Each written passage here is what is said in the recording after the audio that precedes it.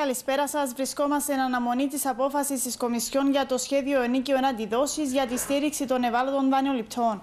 Καλά πληροφορημένες πηγές του Υπουργείου Οικονομικών ανέφεραν στο ΣΥΓΜΑ ότι υπάρχει ήδη μια τυπική έγκριση του σχεδίου από τις Βρυξέλλες. Αυτό που απομένει είναι η επίσημη απάντηση από την Ευρώπη. Ακολούθως, το νομοσχέδιο θα κατατεθεί στην Επιτροπή Οικονομικών για να το εξετάσει και μετά η Ολομέλεια να δώσει το πράσινο φως. Ναι. Τώρα, ε, σε ό,τι αφορά το περιεχόμενο του σχεδίου, εκεί ποια είναι η πληροφόρηση σου, Έλενα; Ο όρο Βρυξελών για να εγκριθεί το σχέδιο είναι πρώτη κατοικία να μην ξεπερνά τις 250.000.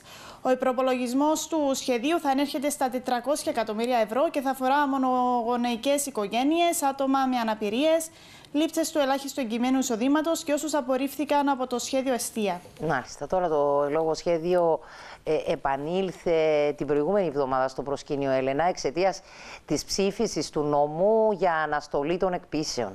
Ναι, πηγές του Υπουργείου Οικονομικών δεν έκρυψαν τη δυσαρεσκιά τους για τη στάση της Βουλής, ενώ εξετάζεται το συγκεκριμένο σχέδιο νίκιο αντιδόσει.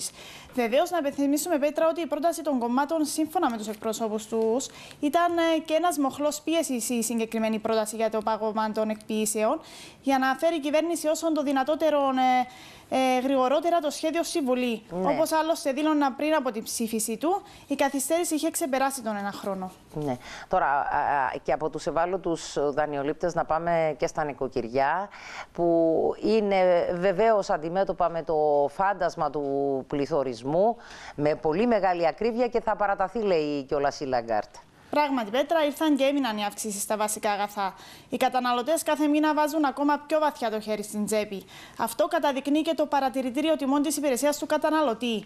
Από το Σεπτέμβριο του 2021 μέχρι τον Ιούλιο του 2022, το ρύζι και τα όσπρια κατέγραψαν αύξηση σχεδόν 13%, το γάλα 7,28%, το γιαούρτι και ο καφές πέραν του 14%. Σημαντική άνοδο έχει το αλεύρι και το τυρί που αυξήθηκαν σχεδόν 14 και 18% αντίστοιχα τα δημητριακά σχεδόν 7%, τα ζυμαρικά 22% και τα αλλαντικά 3% περίπου. Το νερό 7%, το κρέας και το ψάρι σχεδόν 11%, ενώ τα αρτοποιημένα 24% περίπου. Βεβαίω, Πέτρα, κάποια από αυτά τα προϊόντα το κάθε νοικοκυριό τα προμηθεύεται τουλάχιστον 2 με 3 φορές τη εβδομάδα. Συνεπώς, ο αντίκτυπος των ανατιμήσεων είναι ακόμα μεγαλύτερος για τα νοικοκυριά. Ναι. Και για να δούμε, γιατί όπως όλα δείχνουν τα πράγματα, ακόμα και με την νομισματική πολιτική τώρα, είναι πολύ δύσκολο να τυθασευτεί η κατάσταση και να αντιμετωπιστούν τα προβλήματα που συρρυκνώνουν το βιωτικό επίπεδο των πολιτών. Σε ευχαριστώ πολύ, Έλενα, τον κόδωνα του κινδύνου για τις ευρωπαϊκές οικονομίες. Κρούει στο μεταξύ